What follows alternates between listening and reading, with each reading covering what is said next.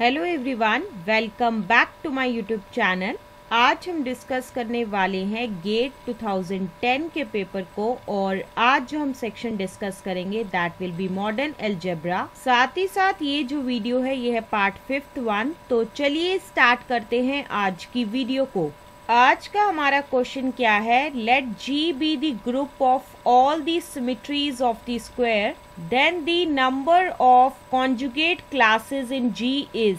तो इस क्वेश्चन में बेसिकली हमें एक ग्रुप दिया गया है दैट इज़ जी वन जो कि क्या है? सिमिट्रीज है ऑफ़ द स्क्वायर का। और इस क्वेश्चन में हमें क्या पूछा गया है कि कितनी कॉन्जुगेट क्लासेस होंगी इस जी के अंदर? And the options for this particular question are as follows option A is four option B is five option C is six and option D seven so इस क्वेश्चन में basically हमें चार options दिए गए हैं और हमें बताना है कि इन चारों में से करेक्ट आंसर क्या है। तो चलिए डिस्कस करते हैं इस क्वेश्चन के सोल्यूशन को। इस क्वेश्चन के सोल्यूशन को डिस्कस करने से पहले हम डिस्कस करेंगे कुछ इम्पोर्टेंट कॉन्सेप्ट्स को, जिनको हम यूज़ करेंगे while solving this particular question सबसे पहली जो डेफिनेशन हम डिस्कस करेंगे that will be the definition of dihedral group अब ये डाईहाइड्रल ग्रुप होता क्या है? It is generally denoted by this symbol that is D N और इसे डिफाइन किया जाता है कुछ इस तरीके से दैट इज़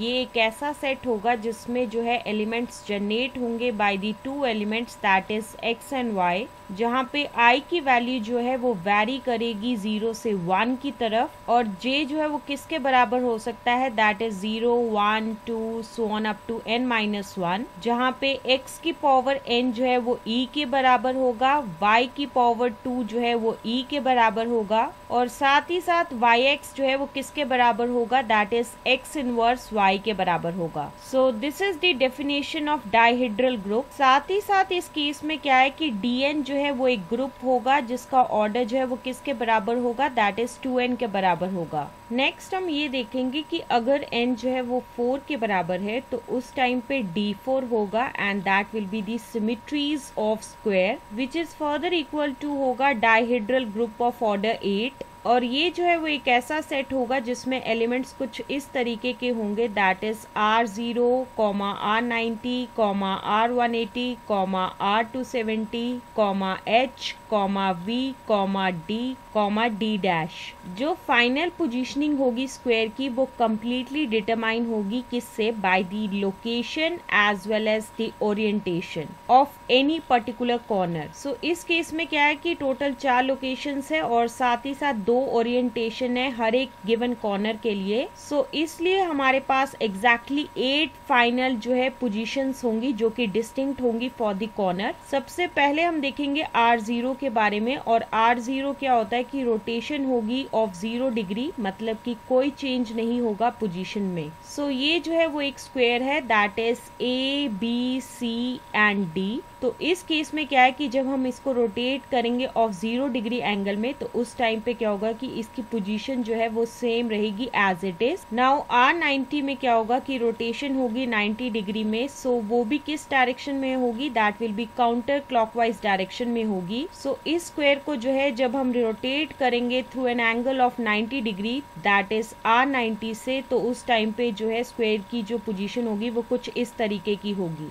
नेक्स्ट जब आर 180 होगा दैट इज़ रोटेशन होगी थ्रू एन एंगल ऑफ़ 180 तो उस टाइम पे ये जो स्क्वायर की पोजीशन होगी, और जब हम इसको जो है रोटेट करेंगे थ्रू एन एंगल ऑफ़ 180 तो उस टाइम पे जो है पोजीशन स्क्वायर की कुछ इस तरीके की होगी। नेक्स्ट जो है वो है R two seventy that is rotation होगी through an angle of two seventy so इस केस में क्या होगा कि स्क्वायर की जो पोजीशन है वो कुछ इस तरीके की होगी और जब हम इसे जो है through an angle of two seventy जो है रोटेट करेंगे तो उस टाइम पे स्क्वायर की पोजीशन कुछ इस तरीके की होगी। नेक्स्ट जो है वो है एच दैट इज़ फ्लिप होगा along the horizontal axis so इस केस में क्या है कि हॉरिजॉन्टल एक्सिस जो होगी वो कुछ इस तरीके की होगी स्क्वायर की और ये जो है वो एक स्क्वायर है और जब हम स्क्वायर को जो है वो फ्लिप करेंगे अलोंग हॉरिजॉन्टल एक्सिस तो उस टाइम पे पोजीशन जो होगी स्क्वायर की वो कुछ इस तरीके की होगी। इस केस में क्या हो रहा है कि बेसिकली वर्टिसेस जो है वो इंटरचेंज कर रहे हैं दैट इज़ ए जो है वो इंटरचेंज करेगा बी के साथ।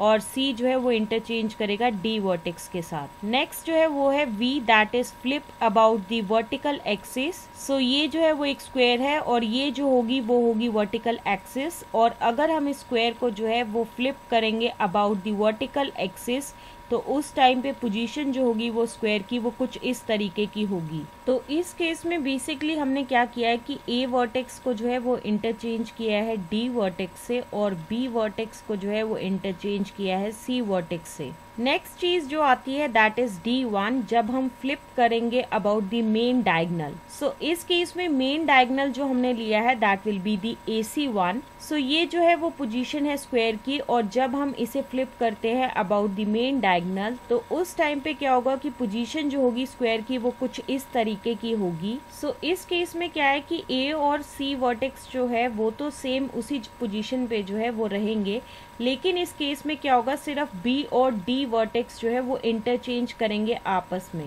Now next we are going to discuss about the D dash that is flip about the other diagonal अब ये अदर डायगनल इस केस में क्या है? That will be the B D diagonal so इस केस में क्या होगा कि ये जो है वो स्क्वायर है, इसे अगर हम फ्लिप करेंगे about the diagonal that is B D तो उस टाइम पे स्क्वायर की पोजिशन कुछ इस तरीके की होगी। अब ये चीज़ कैसे आई है? तो इस केस में क्या है कि जो हमने डायगनल लिया है दैट इज़ बी डी उसके वर्टिसेस जो है, वो तो सेम ही रहेंगे एज इट इज़ अपनी पोजीशन के ऊपर. लेकिन इस केस में क्या होगा कि ए और सी वर्टेक्स जो है, वो इंटरचेंज करेंगे अपनी पोजीशन को. Now next we are going to discuss the definition of conjugate class इस केस में क्या है कि जी जो है वो एक ग्रुप है और साथ ही साथ ए जो है वो एक एलिमेंट है जो कि बिलोंग कर रहा है जी के अंदर। सो so, इस केस में क्या है कि जो कॉन्जुगेट क्लास होगी एलिमेंट ए की जो कि बिलोंग कर रहा है जी के अंदर उसे डिनोट करेंगे कुछ इस तरीके से और इसे डिफाइन किया जाएगा कुछ इस तरीके से।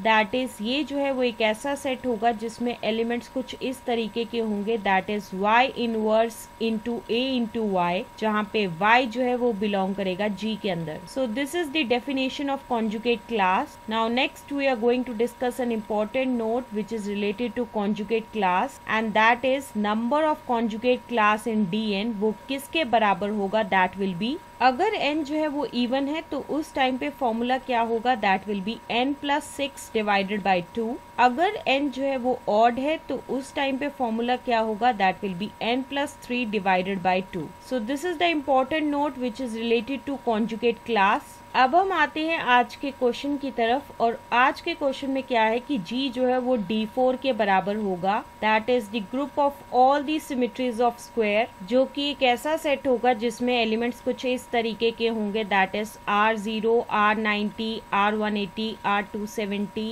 H V D and D dash जो कि एक डाइहिड्रल ग्रुप होगा, जिसका ऑर्डर जो है वो एट के बराबर होगा। Now, next we are going to calculate the number of conjugate class in G, which is equal to D4 के बराबर होगा। तो इस केस में जो फॉर्मूला हम यूज़ करेंगे that will be N plus six divided by two ये फॉर्मूला हमने इसलिए यूज़ किया है क्योंकि इस केस में क्या है कि एन जो है वो फोर के बराबर है, जो कि एक इवन नंबर है। Which is further equal to होगा four plus six divided by two and which is further equal to होगा ten divided by two which is further equal to होगा फाइव के बराबर. So the number of conjugate classes in G will be equal to five के बराबर होगा. सो so, इसी वजह से जो है ऑप्शन बी जो है वो बिल्कुल सही है. So that's why option B will be the answer of this particular question so this is the explanation to this particular question and with the explanation of this question this is the end of this video stay tune for the next video